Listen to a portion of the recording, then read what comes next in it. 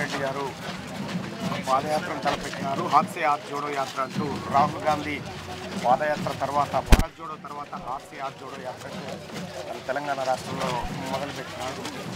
ఈ యాత్ర నేపథ్యంలో అనేకమైనటువంటి అంశాలు కాంగ్రెస్ పార్టీని వైపు చూస్తూ ఉన్నాయి. అలాగే కాంగ్రెస్ పార్టీ కూడా అనేకమైనటువంటి అంశాలను విపక్షాల మీదకి సంధిస్తూ ఉంది. మొత్తానికి తెలంగాణ రాష్ట్రంలో పొలిటికల్ హీట్ ప్రారంభమైంది. ఈ హీట్లో కాంగ్రెస్ పార్టీ ప్రభావం ఎంత చూపించబోతా ఉంది? వైఎస్ రాజశేఖర రెడ్డి చేసినటువంటి పాదయాత్రకు ఈ పాదయాత్రకు డిఫరెన్స్ ఏంది?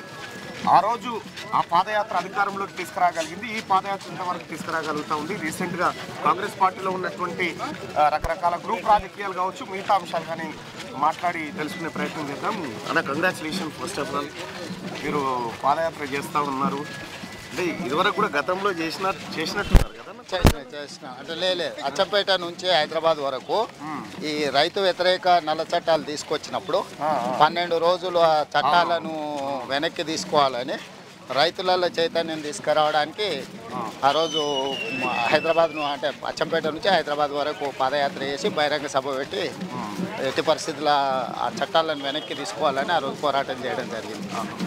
ఇప్పుడు ఈ నేపథ్యంలో సాధారణంగా రాజకీయ నాయకులు ఏసీ రూములు ఏసీ కార్లు ఏసీ వ్యవహారము ఇట్లా ఉంటారు. కానీ ఒక ప్రధాన పార్టీ నాయకుడు ఒక రాష్ట్ర పార్టీ అధ్యక్షుడిగా ప్రజల్లో తిరుగుతూ ఉంటే సో ఆ లైఫ్కి ఈ లైఫ్కి ఏమైనా డిఫరెన్స్ కనిపిస్తూ ఉందా మీ ఈ లైఫ్ డెఫినెట్గా ఇప్పుడు ప్రత్యక్షంగా చూడడము ప్రత్యక్షంగా సమస్యల్ని కనుక్కోవడం వేరు. ఎవరో చెబితే వినడం వేరు. అంటే ఇప్పుడు రుచి అనేది మనం సొంతంగా చూస్తే మన నాలుకకు తెలుస్తుంది. అంతే తప్ప ఎవరో చెప్తే ఇది రుచిగా ఉంటుంది అని అంటే ఓహో అవునా అనుకునే పరిస్థితి ఉంటుంది. అట్లనే ప్రజా సమస్యలు తెలంగాణ సమాజంలో చంద్రశేఖర్ రావు ఒక షుగర్ కోటెడ్ పబ్లిసిటీ చేస్తున్నాడు. మొత్తం తెలంగాణలో చేసేసిన సమస్యలు పరిష్కరించిన. అసలు తెలంగాణ సమస్యలే లేవు. ఇక తెలంగాణ అయిపోయింది ఇప్పుడు దేశాన్ని ఉద్ధరిస్తా అని బయలుదేరాడు.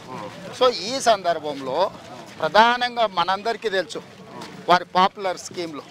డబల్ బెడ్రూమ్ ఇండ్లు దళితులకు మూడెకరాల భూమి ఇంటికో ఉద్యోగము రైతులకు లక్ష రూపాయల రుణమాఫీ ప్రతి నియోజకవర్గంలో వంద పడకల ఆసుపత్రి ప్రతి నియోజకవర్గానికి లక్ష ఎకరాలకు సాగునీరు కేజీ టు పీజీ ఉచిత నిర్బంధ విద్య మైనారిటీలకు పన్నెండు శాతం రిజర్వేషను గిరిజనులకు ఎస్టీలకు పన్నెండు శాతం రిజర్వేషను ఇట్లా చాలా పథకాలను అద్భుతంగా ఆయనకున్న వాగ్దాటితోటి మా అంటే మాటలని తూటాలుగా పేల్చడంలో చంద్రశేఖరరావు గారికి ఒక ఆర్ట్ ఉంది ఆ ఆర్ట్ని రాజకీయంగా వినియోగించుకోవడానికి ప్రజల్ని మభ్యపెట్టడానికి ఉపయోగిస్తున్నాడు.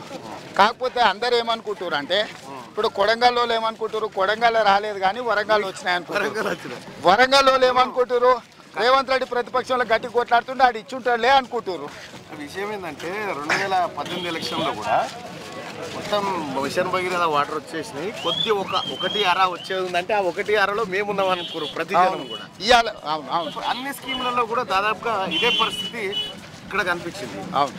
నేను అడుగుతుంది ఏంటంటే